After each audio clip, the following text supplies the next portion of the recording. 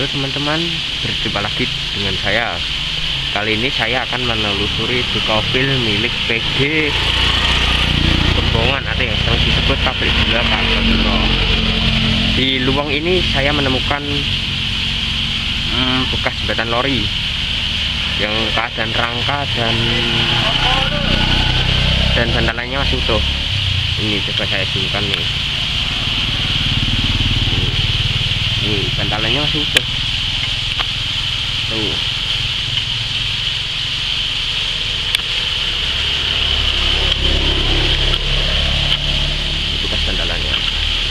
Ini rangkanya baja.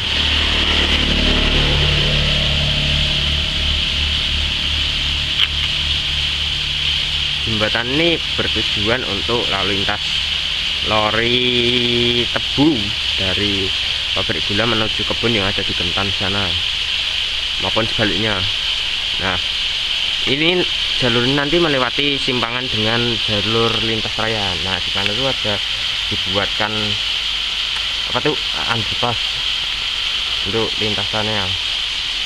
Nah ini bawah ini untuk lori sedangkan di atasnya ini untuk jalur lintas raya nih nah. Ini jalur lintas raya ini lori. Saya akan coba berjalan ke sana oke simak terus video ini sampai dengan selesai. Mantap. Nah yang ke sana itu mengarah ke Gentan sedangkan yang ke sana mengarah ke pabrik gulanya. Coba kita telusuri. Nah ini saya melewati di atas jembatannya nih ini sungainya. Lagi ada KRL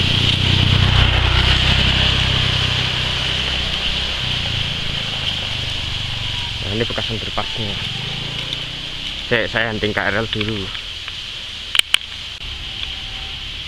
Nah ini saya lanjutkan videonya. Tadi KRL nya KFB I 9000 nah ini bekas underpassnya. Seperti ini.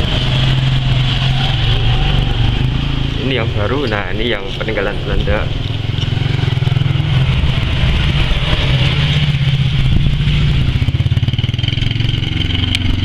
ini jalur lorinya itu lurus ke sana. Nah lurus ke sana itu.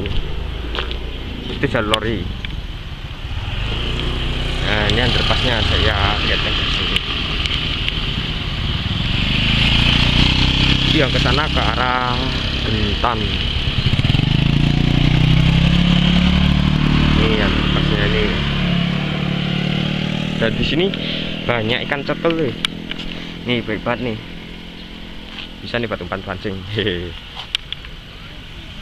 oke lah simak terus video ini sampai dengan selesai Lalu teman-teman. Penelusurannya saya lanjutkan di simpang 4 Gentan Baki Suwarjo nah di sini saya menemukan potongan rel yang melintasi di jalan raya lintas Baki Sukarjo nah ini nah ini dia potongan relnya. Rel lori loh ini dulu relnya menyeberang dari sana. Menuju ke sini. Nanti masuk di samping perempatan Jawes relnya. Nah dulu gauknya atau lebar spornya nih 700 mm yang menghubungkan dari pabrik gula Gentan ke kebun tebu di eh pabrik gula Gentan pabrik gula Gembongan ke kebun tebu di Gentan. Ya sekarang ya sudah nonaktif pabriknya. Ini terlihat kan nah terus di situ ada rel pengamannya. Atau double double rel. Nah itu double rel. Dan yang satunya tidak tahu udah hilang ke mana.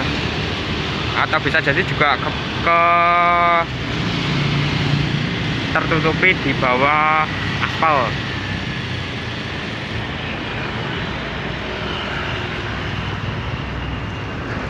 ini dulu. Ya jalurnya sih nggak banyak-banyak banget masih dari kebun ke pabrik itu ya sekitar 10 kilo. Ya 10 kilo. Ini ada bulan. Oke Oke, penelusurannya saya lanjutkan ke perempatan Gentan sana, yang samping lulus Gentan. Simak terus perjalanannya sampai dengan selesai. Mantap. Nah, saya sudah tiba di bekas uh, titik kumpulnya jalur lori dari kebun-kebun dulu. Nah, titik kumpulnya di Desa Banaran ini. Ya, atau yang disebut juga emplasemen lori juga ini pelasan-pelasannya di sini pelasan-pelasannya yang telah kiri kanannya telah berubah. Jalurnya telah menjadi jalan kirinya telah menjadi rawa dan kanannya telah menjadi makam atau kuburan. Bagaimana keadaan selengkapnya? Simak video saya sampai selesai. Mantap. Nah teman-teman akhirnya saya tiba di bekas emplasemen. Emplasemen untuk mengumpulkan lori tebu dari kebun tebu gentan atau pajang. Nah dikumpulkan di emplasemen di mana ini? Bentar saya cek. Anak aja lah tak tulis. Nah ini di oh, bekas jalur lorinya tuh di sini sama di jalan tuh. Dan di kiri sini telah menjadi rawa yang dimenuhi bebek. Sana bebek sana bebek sana bebek semua bebek. Nah ini rawanya. Nanti di sebelah kanannya menjadi makam atau kuburan. Kuburan setempat ini. Bebeknya nah ini untuk bagian belakang sana yang mengarah ke pabrik gula gembongan. Ya sudah menjadi rawa-rawa ini sama jalan tuh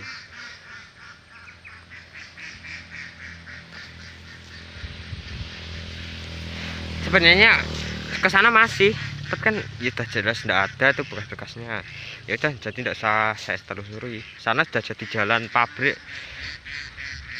Dan malesnya itu panas di sana. Nah itu bebek-bebeknya. Ya kita lihat bebek saja. Nah itu bebek. Ceweknya lagi mandi itu.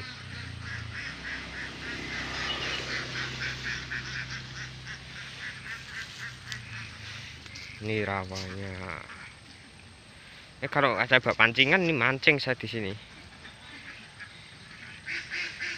Ini kayaknya ada ikan. Soalnya tadi bebeknya ya ada yang makan ikan tadi. Oh, baik banget loh bebek satu-satu tuh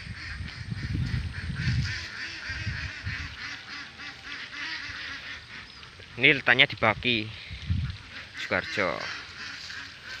Dan di sana tuh di Pajang.